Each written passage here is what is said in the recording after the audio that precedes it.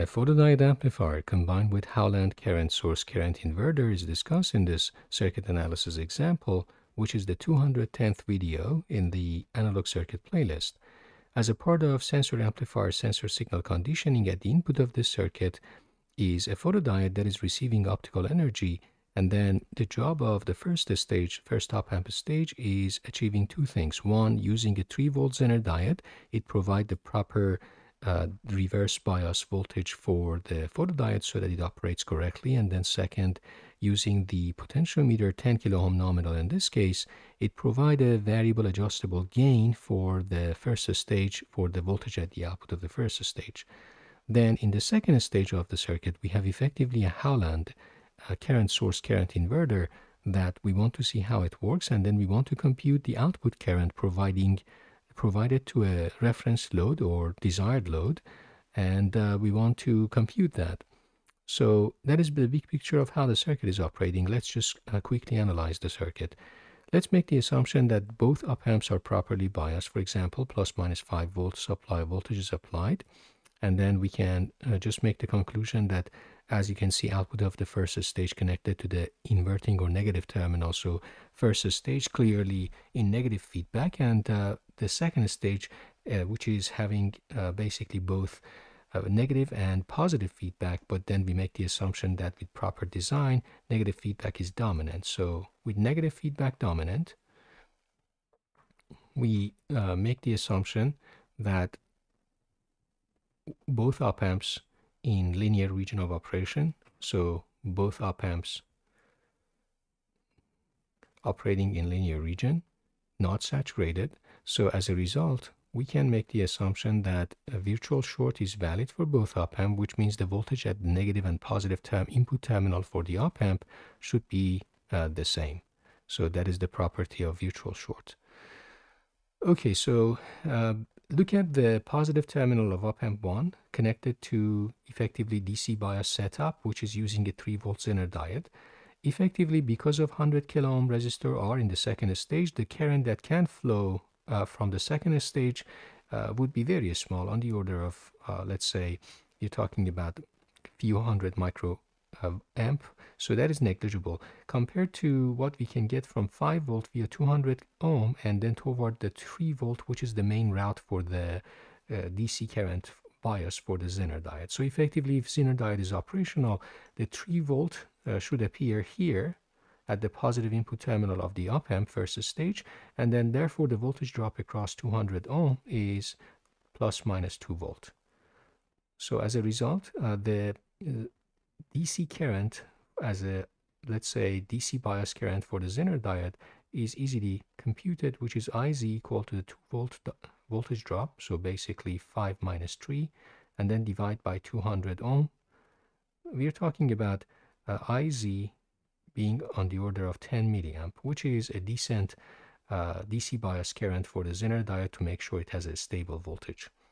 Okay, that's good. Now, because of virtual short, then uh, since there is 3 volt at the positive terminal, there should be 3 volt at the negative terminal of uh, the first stage as well. So that 3 volts serves as the reverse voltage bias for the photodiode so that it operates properly.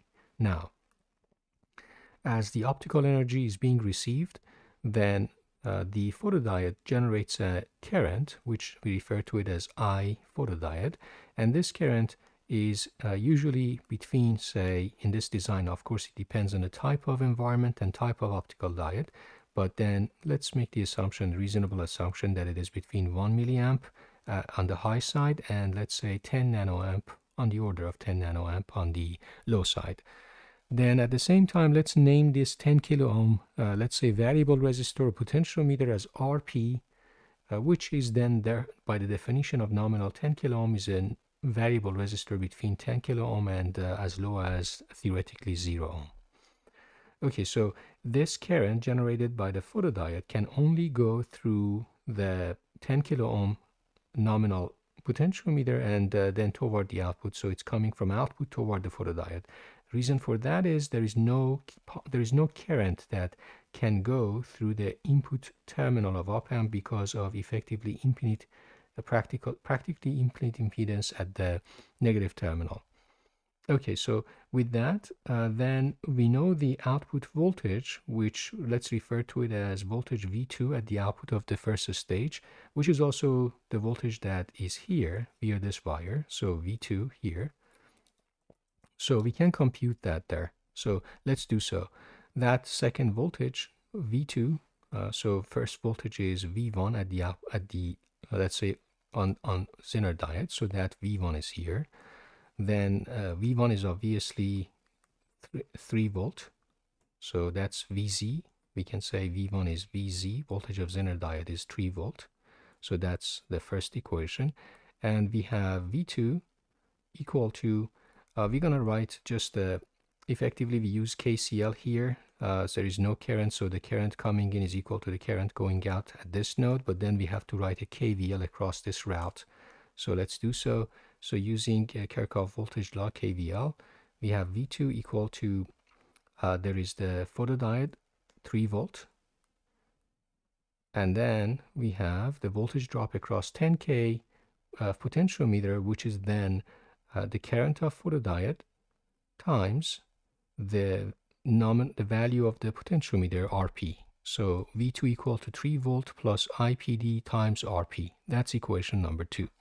Okay, so let's, now that we're done with the first stage, let's do the quick analysis for the second stage, the Howland uh, current source current inverter with the two input voltages that we found. So let's do so. I'm going to write quick KVL. So first thing, let's name the voltage at the positive terminal and the negative terminal of the second op amp using virtual short. There should be the same voltage, so let's name it as voltage Vx. I'm going to write it here, Vx and Vx. Let's also name the voltage at the output of the second stage as voltage V3 and let's name the voltage at the very output of the circuit as Vout. Uh, when we the target is finding I out, of course, that is uh, being provided to the resistor, load resistor RL. Okay, so let's write a couple of uh, KVL, KCL here. We have the current I1 going this way, of course, for the same reason that there is no current going through the input terminal of op amp. So there is no current because of infinite input impedance for uh, input terminal of op amp. Then there is a current I1. We're going to make the assumption that goes this way. And there is current I2. I'm going to make the assumption that it goes this way. Okay, so now let's just write. So we have, of course, current, uh, we can write current I1 is equal to uh, Vx minus V1 divided by R, 100 kilo ohm nominal. So the capital R is 100 kilo ohm nominal and it's repeated four times in the circuit. And then small letter r, the resistor at the output or connected to the output of the second stage is a small resistor 1 kilo ohm nominal. So I1 is uh, Vx minus V1 divided by R. So Vx minus V1 divided by R. That's equation one. Uh, or we can just write it this way effectively. So let's write it as uh, Vx minus V1 equal to I1R. Okay, so the second equation I can write is here at the bottom. Here, uh, let's say at the lower side of the circuit, V2 minus Vx is Ri2. So V2 minus Vx is uh, I2 times R. So I2 times R. And then let's add these two together. So add them together. Uh, the nice thing is Vx cancel out with Vx. So we're going to get V2 minus V1 is equal to I1 plus I2 times R. And as a result, I can summarize the whole thing as I1 uh, plus I2 is equal to V2 minus V1 over R. Okay, so let's keep this as equation number three. Now let's almost done actually circuit uh, is uh, with sort of a right approach is quickly analyzable. So let's write a KVL from V3 uh, toward V1 to find the value of V3. So we have KVL or Kirchhoff voltage law. So we have V3 the voltage at the output of the second stage is equal to V1 uh, plus we have voltage drop across these resistors that they're effectively in series uh, with current I1 passing through them. So I'm, I'm going to write 2R plus R times I1. Okay, let's also find V out as a function of V2 and the voltage drop across these two series resistor effectively. So I can write again another KVL effectively here. So V out is equal to V2 minus, so V out is equal to V2 minus, and then we have uh, 2R times I2. Okay, so I'm gonna, uh, what I'm gonna do is I'm gonna subtract V3 and second, second equation from the first one. So V3 minus V out uh, equal to subtracting. So we have V1 minus V2 and then we have 2R I1 plus I2 and then we have RI1. Okay, so the nice thing is, as you can see here, Ri1, uh, R times I1 plus I2 is V2 minus V1. That's exactly what we have here. So therefore, uh, I can combine them together, and as a result of combining them together, these two together will end up to be just, uh, don't forget about that factor 2, so end up to be V2 minus V1. So effectively, as a result, what I get is V3 minus V out equal to V2 minus V1 plus Ri1. Let's name this as equation number 4. We are almost done. So now I'm going to write a KCL here or Kirchhoff current law. Effectively, I am going to say that the current through uh, the resistor R, so this current, plus the I2 current should be, when the, both of them enters this node, should be equal to I out. So I'm going to write a Kirchhoff current law KCL at uh, output voltage node. So that says the I out is equal to I I2 plus IR. Okay, keep I2, but then IR, the current through the small resistor, is simply voltage drop V3 minus V out divided by R. Now I'm going to use equation 4. So I2 substituting for V3 minus V out, uh, V3 minus V out from equation 4. So I'm going to just substitute that with this side. It will be V2 minus V1 and uh, plus RI1 divide by R. So that will give me just simply I2 plus I1 plus V2 minus V1 R. Finally, as the last step, I'm going to use equation 3 that says the sum of the I1 plus I2 is simply is simply V2 minus V1 divided by R. So I'm going to use equation 3 and uh, I'm going to substitute for this guy. So it will be V2 minus V1 divided by R and uh, keep this one. So V2 minus V1 divided by small r. We are done. We started from I out and we got these guys. So therefore, I can write as a summary I out equal to V2 minus V1 or the difference of the two voltages at the input of the second stage times uh, 1 over R plus 1 over small r. Or effectively, it means V2 minus V1 divided by R in parallel with capital R. So that's the output current. So I'm going to write this. But then this is what we found for the output current. Now, the interesting is we can now substitute for these two voltages. So that is equation 5 for the output. Now substituting from equations uh, 1 and 2 for the V1 and V2 at the input of the circuit. So remember, V1 and V2 are the two voltages, V2. So we have we have V2 and then we have V1. V1 is simply the voltage of Zener diode and V2 is at the output of the first stage. So let's proceed then using equations 1 and 2 simply for substituting for these guys. So I am going to write using equations 1 and 2, I out is equal to, so V2 minus V1 is uh, 3 minus 3, and then it will be just IPDRP. So that's the delta. So I'm going to write it once.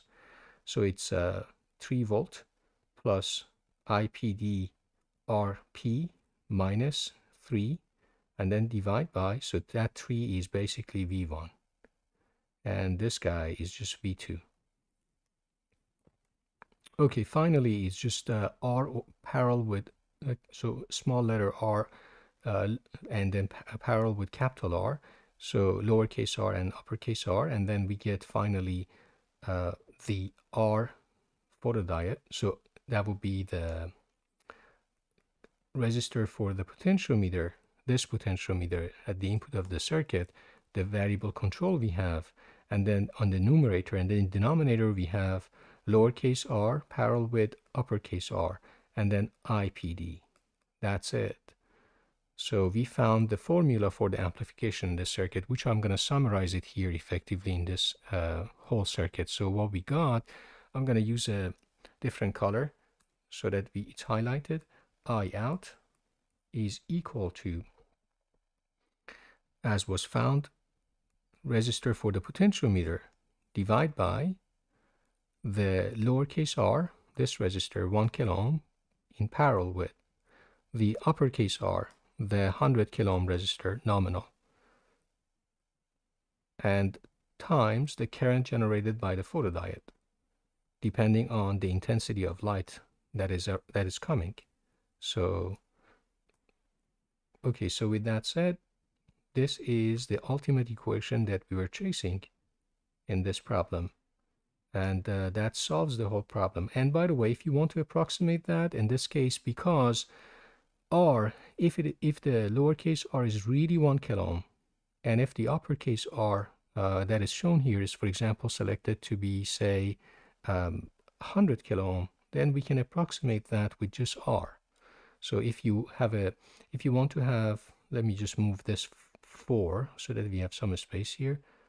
So if you want to approximate this whole thing, it's possible to rewrite it as approximately RP over lowercase r times IPD. And given that lowercase r is 1K, RP or the potentiometer resistor is 10K, so it means that the circuit effectively would be able to magnify or amplify the current generated by the photodiode by up to 10 times in this design, but it is completely depending on adjustable uh, value of the resistor that's selected. Okay, I hope that this example is helpful in terms of uh, showing how we can use just two op amps to uh, basically uh, have a photodiode amplifier and uh, combined with a current source current inverter. Thanks for watching.